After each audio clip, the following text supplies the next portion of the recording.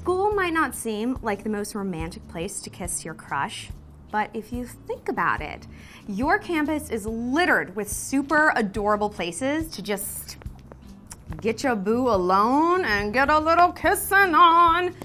Worst case scenario, if you can't find like a little nook here, a little hallway there, and under the bleachers there, you got a binder and you've got a privacy shield. Sneak up on your guy and go like, wait, I have to tell you a secret. Oh my gosh, this is so important. What were you doing behind there? Was I reciting the Gettysburg Address? You'll never know, will you? She was. She knows the whole thing. This, yeah. She said Four really score, quickly. seven years ago. That's what you like. Boom. Uh, another great location, guys, is uh, if you have a theater, behind the theater curtain.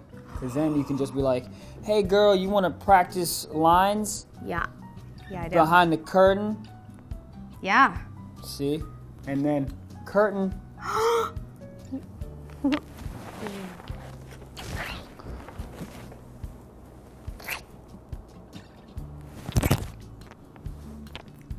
Ways not to get in trouble.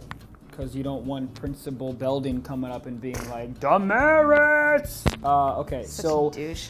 right? So this is my number one trick, guys. Never, never failed. Ready? It's this, and hey, I just let me let me tell you something. So you have the cup here, like you're telling a secret, but you're not. It's not a secret. It's not a secret, everybody. But it looks better. like, but it looks like a secret. So, do you see how boys and girls use the same kind of trick? Hiding, fake secrets, lots of kissing. So easy, and no one has to know what you're doing.